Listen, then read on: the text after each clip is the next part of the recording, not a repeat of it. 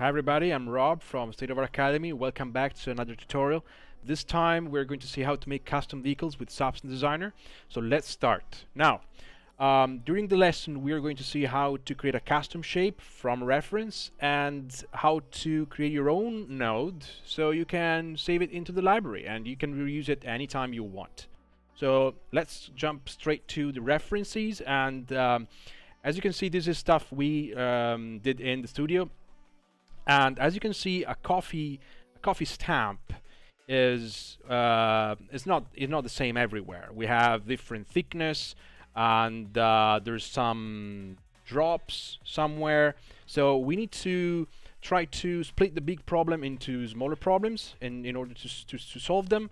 And uh, as you can see here we have basically this large thickness we have a medium thickness and then we have this thin thin circle here. Uh, this is the first problem we have to solve. The second problem is about uh, the drops. As you can see, we have small drops here and there somewhere. And then uh, this is not a solid mask. I mean, it's going to be a mask in the end. Uh, but it's not solid, it's not full color. There's like a noise in, in, in the inside. Uh, the last problem is probably uh, the the the the you know the stroke the the line around uh, the shape is not perfect is kind of messy and distorted there's like a little bit like of you know um, juggling uh, here and there so let's start straight away uh, let's go back to uh, substance designer and uh, what we need to do here is to make a new substance and we can go for an empty graph. Uh, we don't need any output. This is going to be a custom node. So empty is fine. Let's find a name for this. I will call it coffee stamp. Uh, relative to size mode relative to parent really doesn't matter right now is is a way to control the uh, output uh, resolution from outside substance designer right now we don't care about it and we can keep uh, 20 uh, 48 pixels for height and width this is something we can change any moment and the format um, I'm going for HDR low precision even if in this this moment is not really necessary because this is not an height map it's just um, a mask so let's press OK we have this new graph now what we need first of all is to drop um, an output node. This is the last node. This is the result. It's like saying, okay, Substance Designer, this is what I need. And um, we can preview this node on the 3D view uh, by dragging with the right click, with the right click on top of the on top of the 3D view. And when you um, release the mouse button, you can change, you can select what you want to see. So I want to see this in the base color. Uh, there's nothing in it, so the base color is black. Uh, let's start working. Um, it's a circle, okay? So let's start with the shape. The shape node is very um, is very important. is one of the most used one. And here you can see uh, the pattern. You can change it to disk. And this disk is too big, so I'm going down a little bit with the scale. And then I just need the thickness. I just need the stroke of this disk. So I um, I will go for uh, edge detect node and this is the thin stroke uh, we need another two so I'm just copy paste uh, this a couple of times and for the second one I'm going a little bit higher with the width and with the last one I try to you know um, exaggerate a little bit and we need to find a way to blend them together and of course we need to use the blend node and so I can need to connect the first one, the thin one, with the medium one. And now here I need an opacity mask to, you know, um, mask one of the two. I will go for um, grunge map. So I scroll down until I find noises here. And here we have a lot of grunge maps. So I'm picking, I don't know, something like this one, grunge map number nine. And I connect this to this.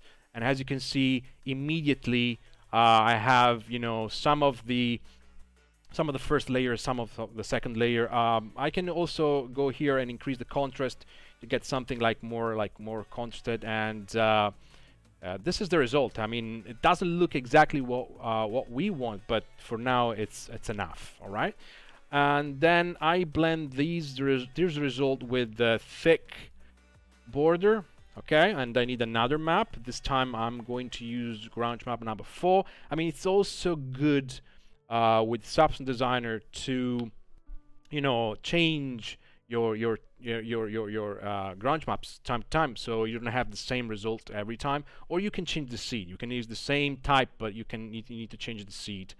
Um, so here we are.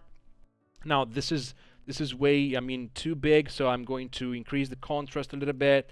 And um, probably I can change the um, let me think. I can use uh, let me see because this is way too visible. Maybe I can invert that. Yes. Okay so now we have you know a nice a nice big areas. We we we, we, we don't have the the, the the the thick you know layer visible all around. And this is enough. Of course we can go back to the to the edge detect and change the thickness. So we have you see more of that of that you know um, of that of that layer. And now we have we have something like this and is not is not similar to what we need because it's too detailed. We need something like kind more more blurred and uh, uniform. Uh, so this small trick is exactly what we need. We need to blur this. So I'm going for a blur HQ grayscale uh, probably is too much right now but I can I can go down with the intensity. And then after this we can go with the levels. And uh, if you if you do this and you in increase the you see you increase the the um, the contrast between black and white this is exactly what we need. And uh, I go back and this is something you need, you need to do anyway. You need to go back and forth in the graph because it's a non-destructive software. So uh, allow you to you know go back and change. For example I want to change the thickness now of the edge detect. Probably I need to work on the three of them. Uh, the cool thing is about this. You can if, if you want to see the result and work on some nodes before the result um, you, you can double click on the node you want the preview off like the levels right now and then you can go back on uh, and click only once on the other node. So I'm, I'm going here on the the thick one and I'm going up with the thickness and see you can I can see the preview straight away. Um, I can go back here. All right all right and maybe even here in the, the thin one and increase and increase it. Okay so this is this is this is enough. And now as you can see, as you can see from from from the um, from the reference, um, this kind of shapes are going inside the circle, not outside the circle. So I need to find a way to mask, you know, to delete this this shapes uh, from from from the outside. So um, how can we do that? We can um, we we have this shape, right, which is the original one um, I can try to, you know, before going for um, for a, for the blur, I can try to subtract this shape from this one. But I probably need to uh, do some um, thinking about this because you know it's not it's not easy uh, to um, make it right at the, the first time in, in at the first shot. So think about this. We have this we have this mask we have this mask and we want to delete this area okay? So this area should be white okay? Should be white now not black. And uh, we have a black uh, color here. So in this case we want to invert with our invert grayscale the base um, the original shape. And then we want to blend this in screen mode. Or like uh, yeah screen mode should be right okay you see? Now we just deleted uh, the outside uh, making it white. And we can now change this and um, blend you know uh, put this blend into the blur and we get this result and as you can see now the outside is gone which is exactly what we needed I'm going back to the large thickness and increase it a little bit, maybe even in this one now. You see, it's always a, you know, a kind of back and forth process. Um, we can also increase the intensity of the blur uh, to get the shape we want, right? All right, now we are here. Let's stuff. Uh, let's think about um, the drops. Let's think about the drops now. In in Substance Designer, there's a lot of um, textures that you know we have that have like kind of uh, small uh, drops, white um, chunks of of you know uh, color, but what we need is something well I'm, I'm, I'm I think I've, I'm going I'm going with this microscope view. As you can see looks like you know uh, something you can see through a microscope. And I'm decreased the warp intensity I'm increasing the scale. Now as you can see here we have 64 as a limit for the slider but it's a, it's a lie. I mean in Substance Designer uh, almost every time you have a slide you can override that value. So I'm going for uh, instead of 64 I'm going for 128 see you get you get you get smaller now um, shapes and you can you can go even you know higher as as you want. Now these are I mean too much. This I, I cannot blend these drops because you know it's probably you know too too too there there are too many. So what I'm going to do is I'm going for a level. And if you if you increase you see uh, if you if you bring up the black um, the black uh, this black arrow you're going to clamp those values. So every everything from here to here now is black and I can I mean uh, contrast a little bit with the medium gray arrow I like it I like it maybe we can um, make it better um, um, in the near future now we need to put these small drops around and, and, very close to the stump we have right now. So I need a mask. I need to create a mask from this. And how can we create a mask? Um, we can start from, you know, um, from this one. So the the the area where those drops um, will be placed is depends on the stump um, itself.